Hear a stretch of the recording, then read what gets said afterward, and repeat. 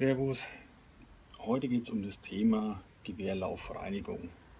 Ist es sinnvoll, grundsätzlich einen Gewehrlauf zu reinigen? Das kann man nicht eindeutig beantworten. Solltet ihr bei eurem Luftgewehr das Problem haben, äh, dass das Trefferbild ähm, mal eine ganze Zeit lang gut war und auf einmal irgendwie nicht mehr dem entspricht, was ihr gewohnt seid, dann kann es auf jeden Fall damit zusammenhängen, dass äh, zum Beispiel der Lauf halt eben verdreckt ist. Das heißt, da sind dann Rückstände, Bleirückstände zum Beispiel drin und dann würde es Sinn machen zu reinigen. Ich habe eine HW35 eine ganze Zeit lang geschossen, da habe ich, die habe ich nicht ein einziges Mal gereinigt. Die hat sich irgendwie beim Schießen selbst gereinigt. Bei meiner Steier macht es auf jeden Fall Sinn, den Lauf zu reinigen. Da hatte ich auch von Adam Benke die Empfehlung, alle 500 Schuss die Reinigung durchzuführen. Und ähm, da sich sonst wirklich das Trefferbild etwas verschlechtert zwei Möglichkeiten, wie ihr den Lauf eures Luftgewehrs bzw. eures Gewehrs bis zu einem Kaliber von 9 mm reinigen könnt, will ich euch heute zeigen.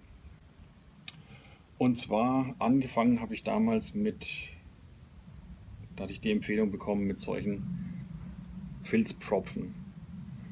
Dazu gleich, diese Pfropfen sind kein Spielzeug. Also wenn ihr die in den Lauf rein tut, das Gewehr spannt und die dann durchschießt und auf eine Person richtet, kann es auch wirklich ernsthaften Schaden anrichten. Also da bitte unbedingt davon absehen. Ganz normal, so wie ihr es gewohnt seid, auf dem Schießstand oder in den Schussfangkasten oder irgendwo in die Pampa oder so, wo keiner in der Nähe ist, ähm, weil die ziehen dann doch immer noch richtig. Wie funktioniert das? Es ist ganz simpel. Ich habe hier mal meine Slavia CZ diese wird einfach hier in den Lauf reingeschoben. Dann wird das Gewehr wieder geschlossen und der Schuss ausgelöst. Um ein gutes Reinigungsergebnis zu bekommen, sollte man ungefähr vier bis fünf von den Pfropfen durchschießen. Die gibt es von verschiedenen Marken. Ich weiß gar nicht mehr, ich glaube 500 Stück irgendwie um die 8 Euro oder sowas. Also das ist jetzt wirklich ähm, keine große Investition. Die zweite Möglichkeit, die Gewehrlaufreinigung durchzuführen, ist ein Set von AHG.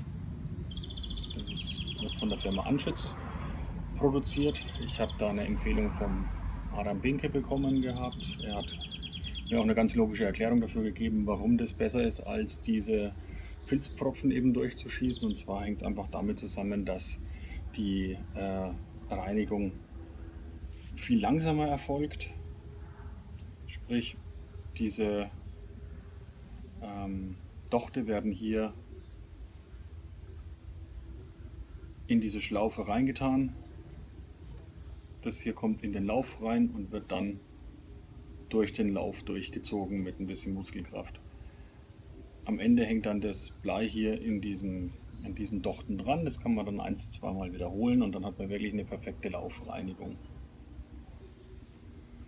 Ergänzend gibt es noch eine Möglichkeit, ähm, gerade bei älteren Gewehren, wie jetzt hier meine CZ Slavia 630, das ist doch schon ja, 25, 30 Jahre dürfte die schon auf dem Buckel haben.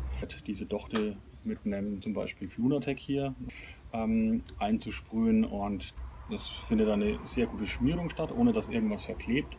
Und diese kleinen Haarrisse ähm, werden dann halt eben mit ausgefüllt, dass dann wieder ein sehr guter Lauf dann einfach zur Verfügung steht.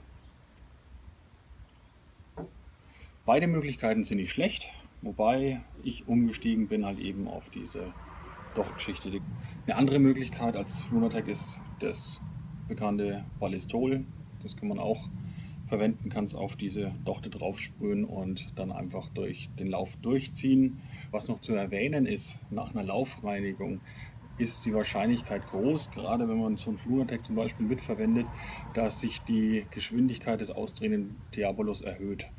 Ähm, da solltet ihr aufpassen. Also ich würde auf jeden Fall davon abraten, vor einem Wettkampf oder so noch schnell seinen Lauf zu reinigen, weil ich kann versprechen, dass ihr dann, ähm, dadurch, dass sich das Trefferbild auch verschiebt, ähm, einfach nicht die erwarteten Ergebnisse erzielt. Das heißt, äh, gerade nach einer Laufreinigung dauert es doch einige Schuss, bis sich das Ganze wieder einpendelt.